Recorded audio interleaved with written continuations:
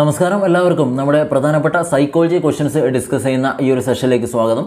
വളരെ പ്രധാനപ്പെട്ട പത്ത് പ്രീവിയസ് ക്വസ്റ്റ്യൻസ് ആണ് നമ്മൾ ഇവിടെ ഈ ഒരു സെഷനിൽ ടോപ്പ് ടെൻ സൈക്കോളജിയാണ് ഡിസ്കസ് ചെയ്യുന്നത്. ഓക്കെ അപ്പോൾ നിങ്ങൾ കൃത്യമായിട്ട് പഠിക്കണം. ഇനിയുള്ള ടോപ്പിക്കും കാര്യങ്ങളൊക്കെ എന്തെങ്കിലും ഡൗട്ട് വരുന്നുണ്ട് അതുമായി ബന്ധപ്പെട്ടുള്ള കൂടുതൽ കാര്യങ്ങൾ നമ്മൾ നോട്ടൊക്കെ നിങ്ങൾ റെഡിയാക്കി വെച്ചിട്ടുണ്ടാവും കവർ ചെയ്ത് നോക്കാൻ കൂടെ ശ്രദ്ധിക്കും ഓക്കെ നമുക്ക് എന്ത് ഇന്നത്തെ വളരെ പ്രധാനപ്പെട്ട പത്ത് ചോദ്യങ്ങൾ ഏതൊക്കെയാണെന്നുള്ളത് നോക്കാം. അപ്പോൾ കഴിഞ്ഞ ദിവസങ്ങളൊക്കെ നമ്മൾ ചെയ്ത പോലെ അഞ്ച് സൈക്കോളജി ഇംഗ്ലീഷ് കാറ്റഗറി തേർഡിന്റെ ക്വസ്റ്റൻസും അതുപോലെ അഞ്ചാം നോർമാലിറ്റി വരുന്ന മറ്റ് കാറ്റഗറിയുടെയും ക്വസ്റ്റൻസാണ് നമ്മൾ ഉൾപ്പെടുത്തിയിട്ടുള്ളത്. അതൊക്കെ അപ്പോൾ അവിടെ മറ്റ് കാറ്റഗറി അല്ലെങ്കിൽ ഇവിടെ കാറ്റഗറി ത്രീ ഒന്നുമില്ല. നിങ്ങൾ കംപ്ലീറ്റ് ആയിട്ട് എല്ലാം പഠിക്കണം. എല്ലാ കാറ്റഗറിയും ഇതെല്ലാം കവർ ചെയ്യണം. ഓക്കെ കാരണം ക്വസ്റ്റൻ ഏത് ലെവലിലാണ് വരുമെന്ന് നമുക്ക് പറയാൻ കഴിയില്ല.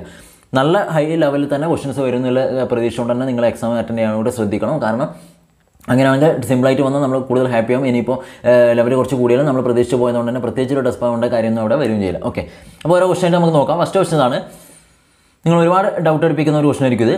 School readiness skills are develop and most free time is spend playing with friends are major characteristics of dash question clear അല്ലേ? School readiness skills are develop and most free time is spend playing with friends are major characteristics of options infancy early childhood early adulthood and option D late childhood infancy early childhood early adulthood and early sorry late childhood അപ്പോൾ ഏതാണ് answer വരിക? ഇവിടെ കറക്റ്റായിട്ടുള്ള answer ഒക്കെ കൂടുതൽ സമയങ്ങളും കുട്ടികളായിട്ട്. Okay school readiness skills develop ചെയ്യുന്നു. അതുപോലെ തന്നെ കുറേ ഒരുപാട് ഫ്രീ ടൈംസ് കംപ്ലീറ്റ് ചെയ്യുന്നു അവരുടെ കുട്ടികൾ. ഫ്രണ്ട്സുമായിട്ട് കളിച്ച് അവർ സ്പെൻഡ് ചെയ്യുന്നു. ഓക്കെ കളിയിലൂടെ ചിലവഴിക്കുന്നു. അപ്പോൾ ഏതാണ് ആൻസർ ഇവിടെ കറക്റ്റായിട്ടുള്ള ആൻസർ നേരെ പോയിട്ട് നിങ്ങൾ മറ്റൊന്നും നോക്കേണ്ട. ഓപ്ഷൻ ബി ആണ് ഏർലി ചൈൽഡ്ഹുഡ് എന്നുള്ളതാണ് കറക്റ്റായിട്ടുള്ള ആൻസർ കേട്ടോ ഏർലി ചൈൽഡ്ഹുഡ് അടുത്ത question learners prior knowledge assessment will help a teacher to choose question clear ആണ്?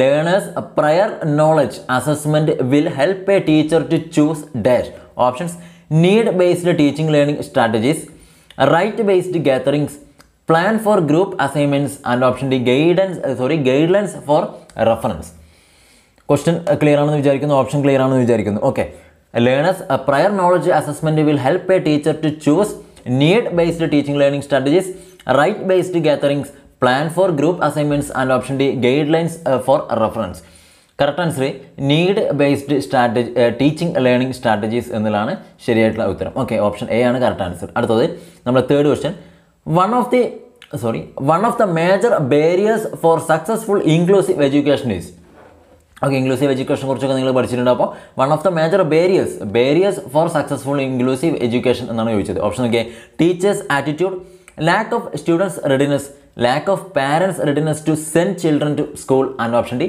inappropriate classroom environment ഏതാണ് ഒരു മേജർ ബേരിയേഴ്സ് ആണ്. മേജർ ബേരിയർ തന്നത് നാലെണ്ണത്തിൽ മേജർ ബേരിയർ എന്ന് ചോദിച്ചാൽ ഇൻക്ലൂസീവ് എഡ്യൂക്കേഷനുമായി ബന്ധപ്പെട്ടുള്ള ബേരിയർ എന്ന് ചോദിച്ചാൽ ഇവിടെ ആൻസർ ഏതാണ് വരിക? കിട്ടിയിട്ടുണ്ടാവുമെന്ന് വിചാരിക്കുന്നു. ഏതാണ് വരിക? കറക്റ്റ് ആൻസർ ഓപ്ഷൻ എ ആണ് കേട്ടോ ടീച്ചേഴ്സ് ആറ്റിറ്റ്യൂഡ് എന്നുള്ളതാണ് ശരിയായിട്ടുള്ള ഉത്തരം. ടീച്ചേഴ്സ് ആറ്റിറ്റ്യൂഡ് അതാണ് ഇവിടെ കറക്റ്റായിട്ട് വരുന്നത്. ഫസ്റ്റ് വരുന്നത്. ഫസ്റ്റ് പ്രയോറിറ്റി ഇതിന് തന്നെയാണ്. ഓക്കെ അവരുടെ ആ ഒരു ഇൻക്ലൂസീവ് എഡ്യൂക്കേഷനുമായി ബന്ധപ്പെട്ടുള്ള ബുദ്ധിമുട്ടിന്. അടുത്ത question key objective of continuous and comprehensive evaluation is Key objective of continuous and comprehensive evaluation CCE continuous and comprehensive evaluation. Okay. അതിന്റെ തുടർച്ചയും സമഗ്രമായിട്ടുള്ള ആ, നമ്മുടെ ഇവാലുവേഷൻ ഉണ്ടല്ലോ അതാണ് ഉദ്ദേശിക്കുന്നത്. അതിന്റെ കീ ഒബ്ജക്റ്റീവ് ഓപ്ഷൻ നോക്കുക.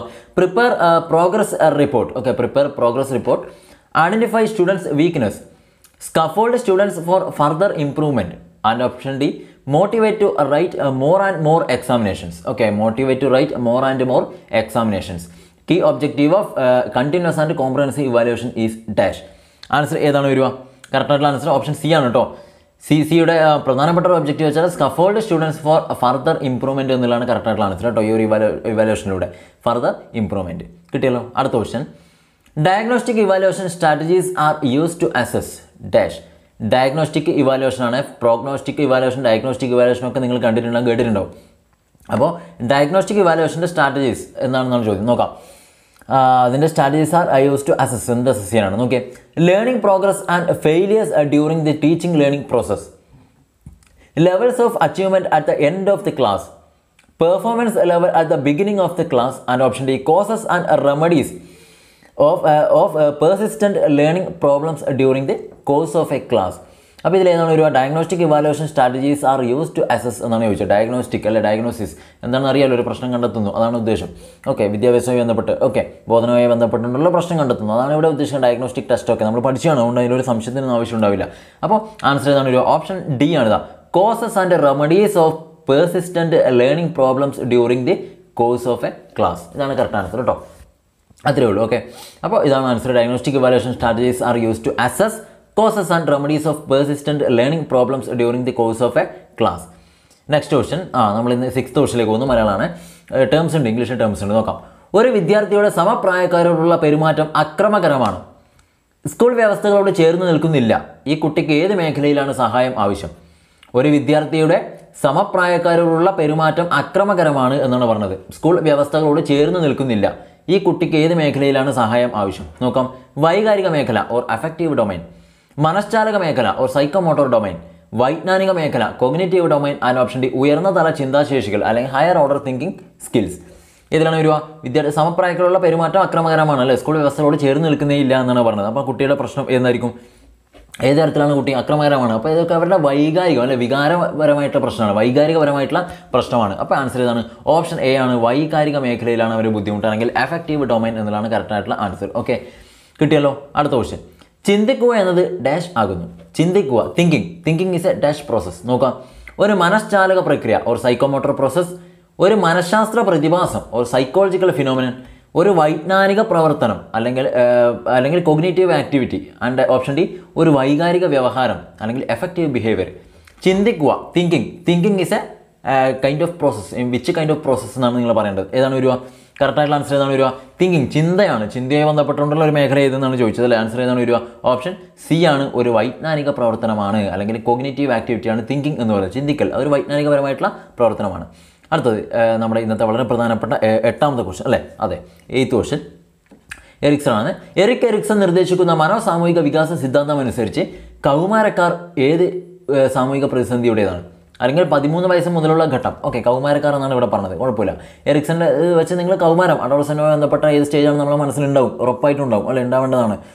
ഓപ്ഷൻ നോക്കിയാൽ ഔപചാരിക മനോവ്യാപാര ഘട്ടം അല്ലെങ്കിൽ ഫോമൽ ഓപ്പറേഷൻ സ്റ്റേജ് വ്യക്തിത്വ സ്ഥാപനം വേഴ്സസ് വ്യക്തിത്വ പ്രതിസന്ധി അല്ലെങ്കിൽ ഐഡന്റിറ്റി വേഴ്സസ് ഐഡന്റിറ്റി ഡിഫ്യൂഷൻ കർമ്മോത്സുകത അപകർഷത അല്ലെങ്കിൽ industry versus inferiority and option D ആശയദാന ഘട്ടം അല്ലെങ്കിൽ കൺസെപ്റ്റ് അറ്റൈൻമെന്റ് സ്റ്റേജ് ഇതിൽ കൗമാരകാലം അല്ലെ പതിമൂന്ന് വയസ്സിന് മുകളിലുള്ള ഘട്ടം ഇതിൽ അദ്ദേഹത്തിന്റെ തിയറി പ്രകാരം ഏത് സ്റ്റേജിൽ ഉൾപ്പെടുന്നു എന്നാണ് ചോദിച്ചത്. നിങ്ങളുടെ മനസ്സിലുണ്ടാവുമല്ലോ? ഒരു സംശയം വേണ്ട. ഏതാണ്? ഏതാണ്? പറ. ഐഡന്റിറ്റി വേഴ്സസ് ഐഡന്റിറ്റി കൺഫ്യൂഷൻ അല്ലെങ്കിൽ ഐഡന്റിറ്റി വേഴ്സസ് ഐഡന്റിറ്റി ഡിഫ്യൂഷൻ എന്ന് പറയും. ഓപ്ഷൻ ബി ആണ് വ്യക്തിത്വ സ്ഥാപനം വ്യക്തിത്വ പ്രതിസന്ധിയാണ്. കറക്റ്റായിട്ടുള്ള ആൻസർ കിട്ടിയല്ലോ. അടുത്ത ക്വസ്റ്റൻ നമ്മൾ പോകുന്നു എത്രാമത്തെ question ninth question okay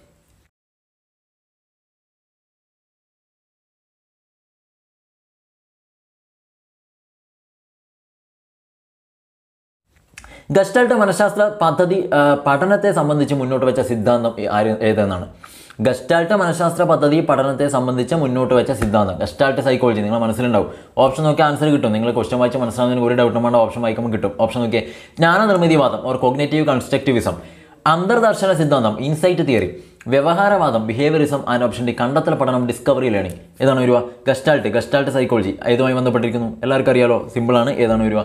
insight ആണ് അല്ലേ അന്തർദർശന സിദ്ധാന്തമാണ് അല്ലെങ്കിൽ ഇൻസൈറ്റ് തിയറി എന്നുള്ളതാണ് കറക്റ്റായിട്ടുള്ള ആൻസർ ഇതൊക്കെ ഡയറക്റ്റ് ക്വസ്റ്റൻ ആണ്. നമ്മൾ ഇന്നത്തെ വളരെ പ്രധാനപ്പെട്ട ലാസ്റ്റ് ക്വസ്റ്റിലേക്ക് പോകുന്നു. താഴെ പറയുന്നതിൽ ഏത് സാഹചര്യത്തിലാണ് പഠനം കൂടുതൽ ഫലപ്രദമാകുന്നത്? ഓക്കെ താഴെ പറയുന്നതിൽ ഏത് സാഹചര്യത്തിലാണ് പഠനം ലേണിംഗ് കൂടുതൽ എഫക്റ്റീവ് ആവുന്നത് ഫലപ്രദമാവുന്നത് എന്നാണ് ക്വസ്റ്റൻ ഓക്കെ ഓപ്ഷൻ നോക്കുക.